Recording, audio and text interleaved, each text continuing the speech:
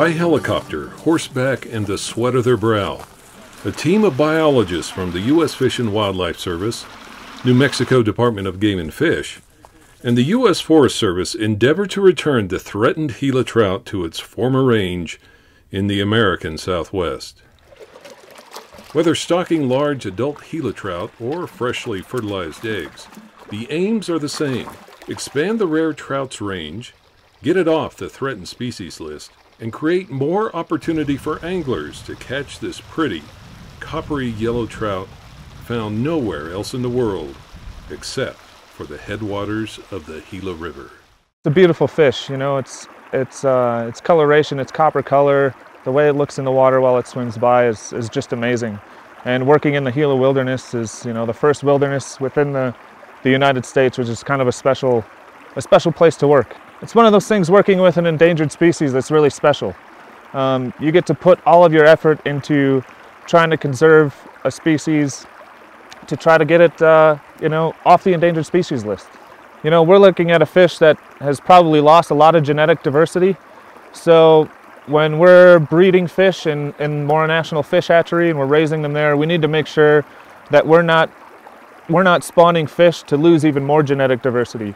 So we can try to conserve as much of the genetics as possible between lineages and among lineages. Gila trout was um, one of the the first species uh, listed. It was uh, listed under the precursor to the Endangered Species Act. So that was, um, I think, in 1966, and then um, listed as endangered under the Endangered Species Act in 1973. Um, a lot of work was done by the Fish and Wildlife Service and the states of Arizona and New Mexico, and it was downlisted in 2006. And at that time, the Fish and Wildlife Service um, implemented a special rule that allowed for angling. So that's why we're able to um, provide angling for this trout, even though it is listed under ESA. And the current status is as threatened. Gila trout are are basically an icon to the Southwest, and that's that's really to me is is what it means is is wilderness and wild places. You know, this is the the first designated wilderness in the country, and Gila trout are a result of that designation. So, I think that uh, the unique experience that is offered to anglers. You know, I, I don't think that can be found anywhere else. You know, and I, I think that's what really draws people here um, you know, it's, it's not like your other typical fish, you know, it doesn't necessarily get as big, but it takes you into these places that are so remote and so beautiful that most people don't ever get to them, you know. And, and it's, it's kind of neat that the foresight of these people, you know, like Aldo Leopold that designated this are actually what, what gives me my job today and what, what makes this possible, this whole recovery effort, you know, because without that, Gila trout wouldn't be around. So really, you know, I think that, that that's, that's what it symbolizes. And I think that the anglers and then the, the local people need to really take, take account of that and, and really appreciate what, what we have here. It just strikes me this is a journey. You know, we're here with the biologists, the main biologists for Gila trout from the, the several offices, the Forest Service, the Fish and Wildlife Service, uh, New Mexico Game and Fish, and doing something we've never tried before, putting eggs directly into the gravel um, from hatchery but fish that we spawn with wild parents and uh, taking a stream that's currently empty and uh, putting Gila trout back uh, to see how they do. And when you look at this landscape and walk up here, it is a journey. It's you come from the, the valley floor that's dry and desert, and then you come up here and there's actually water. And now there's going to be trout too, which is pretty neat. One of the huge challenges of the Gila is it's rough country, and and because it's rough, that's probably why it's been protected and now we put protections here, but it has limited influence from man. The downfall of that is it's tough. It's tough for us to get in and out of habitat for Gila trout, and when we're trying to bring in fish, we need to bring in mule teams, uh, big pack strings, a lot of equipment, and right now with the, the fires, uh, it's been hard to get up the trails. There, there's blowdown and stuff like that. So being able to downsize to eggs, they're very light, easy to carry.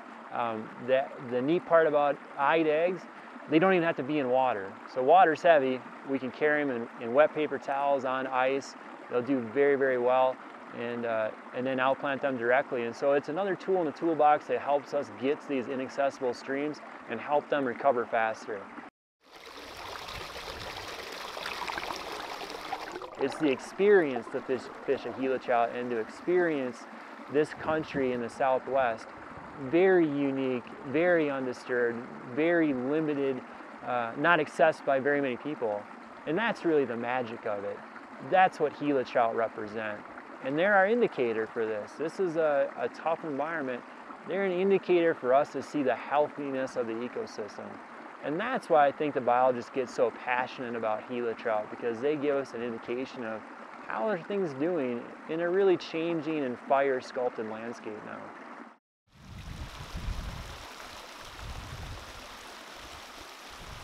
I'm a New Mexico native and there's something just really special about coming down to the Gila and being able to put a line in the water and pull out a Gila trout, which is one of our amazing native species. And so, yeah, we can go catch rainbow and brown trout all day other places, but there's something really special about just coming up here, pulling one of those out of the water and seeing its beautiful coloration and the wild place that they live that's so special to what New Mexico is at its very core honestly, being in the Gila, it's always breathtaking and it just kind of is a slap across the face when you're going from your hectic everyday life and stepping out into nature. The vast expanse of the Gila just kind of brings you back down to earth pretty quickly.